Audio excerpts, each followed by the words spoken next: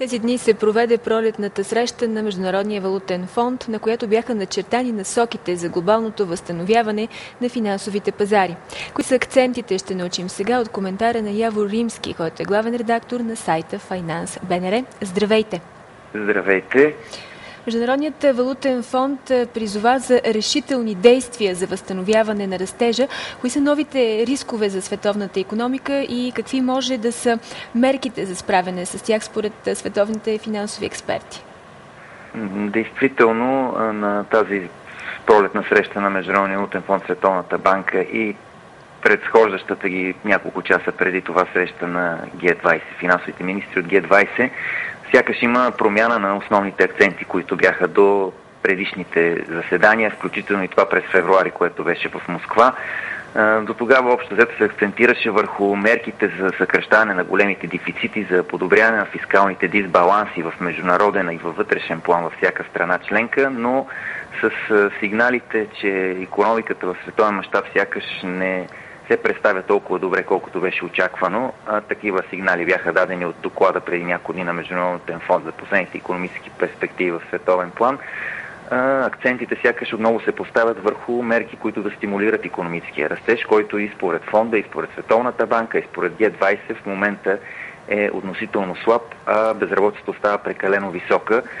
Така че и Международния валутен фонд позволи, може да се каже, даде зелена светлина на продължаване на политиките на Федералния резерв, на Японската централна банка, пък дори на банка в Ингланд и на Европейската централна банка политиките за стимулиране на економиките, т.е. печатането на пари, нещо, което така от финансовите пазари се очакваше по-скоро да има някаква критика поне към Японската централна банка, която само в рамките на този месец обяви най-агресивната програма за парични стимули. Да, действително призивът беше да се продължи с агресивната политика в развитите економики.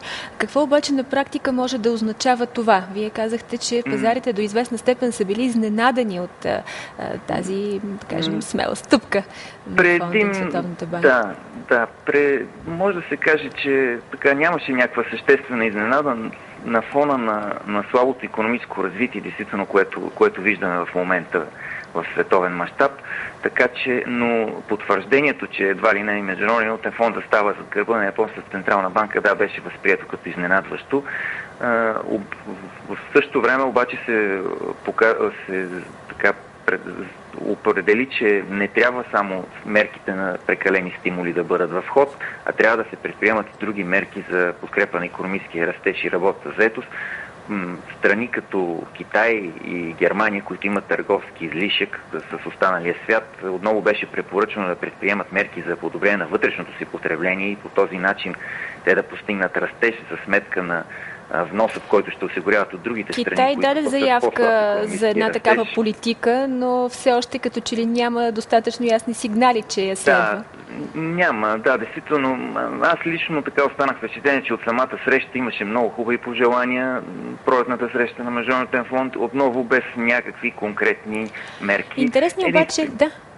Да, да. Единствено може да се каже конкретни мерки, че отново беше поет ангажимента, че отделните страни членки няма да правят изкуствена девалвация на своите няма да валути. Се стига до валутна да... война. Да, така да, и да, може да се каже, че да, от тази среща застана и впечатлението, че е, така опасенията за валутна война, които през февруари месец, ако си спомняте на срещата се, ние в Москва бяха някакси, някакси да, по, по, по-голямо напрежението беше този път, като че ли остават на заден план, но все пак трябва да отбележа, че нововъзникващите или развиващите се пазари, които най-много биха пострадали от такава валутна война, а, наложиха върху на Международния фонд решение, което беше застъпено и в комуникето след срещата, да направи обстоен анализ как продължаващите политики, буквално казвам, на печатане на пари от водещите централни банки, може да окажат влияние върху движението на капиталите, а именно движение към развиващите се пазари, което пък да доведе до рязко поскъпване на техните валути. Вероятно така, Япония ще бъде първата в списъка на такава проверка.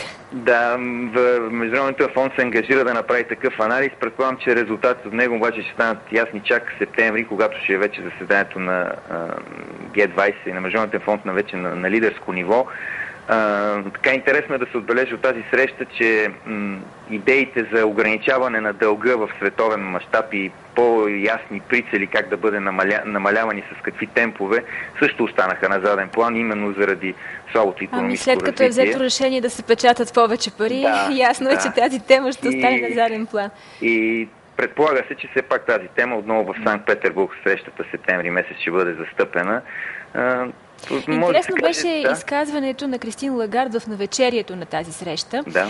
Тя като че ли каза по-конкретни неща във връзка с това как би трябвало да се стимулира растежа и акцент в изказването й беше е, така ситуацията в банковия сектор, рисковете, които крие Да, Действително и в комуникето след срещата на МВФ се посочва, че трябва да продължат реформите в банковия сектор. Основно се акцентира върху проблемите и рецесията, продължаваща в еврозоната, като се изтъква, че е, тя може да бъде решена единствено чрез много по-бързо придвижване към така наречения е, Европейски банков съюз. Нещо, за което говорим вече от доста години, което сякаш набра скорост през последните дни. Ами това, което се случи в Кипър, сега да, заради, е заради кризата в Кипър, но а, може да се каже, че пък в същото време специално германските представители в лицето, на финансов министър Шойбле, на шефа на Бундесбанк Вайдман, отново подчертават, че този процес няма да бъде толкова лесен, тъй като ще трябва да премине задължително, те вече така може да се каже, че избистриха своята позиция, задължително през промени в Европейския договор, в Лисабонския договор. Аз изпомняме самия Лисабонски договор, как беше променен с години. Така че оптимизма, че от началото на следващата, на следващата година ще започне да функционира нормално Европейския банков съюз, някакси се започнаха отново се поизпаряват. Ще има, предполагам, сериозни преговори през пролета и лятото. За съжаление, да, срещата на МВФ мина, може да се каже, под знака на критиките и натиска върху еврозоната. И то натиск идваше и от японци, и от американския финансов министр, които, може би с право, се опитват да, да, да да покажат да на, вниманието на от своя голям дълг, може би, защото да, знаем, да, че това е техният проблем. от тази гледна точка, но да, да, но да убедят своите европейски колеги, че тези много строги мерки на економии, на които сме свидетели през последните една-две години, и които вкараха в тежка рецесия и Италия, и Испания, и Португалия, и другите страни, които се намират под спасителни финансови програми, трябва да бъдат разхлабени за сметка на мерки за економическия растеж. За съжаление, това златно сечение между мерките на е този економии и да, е, аз поне не виждам на този етап някакси да някой да може да го открие, за да получи, може би, тази година новата награда за економика. Със сигурност опитите ще продължат в тази насока. Много благодаря за коментар. Яво Римски с информация за резултатите от пролетната среща на Международния валутен фонд и Световната банка.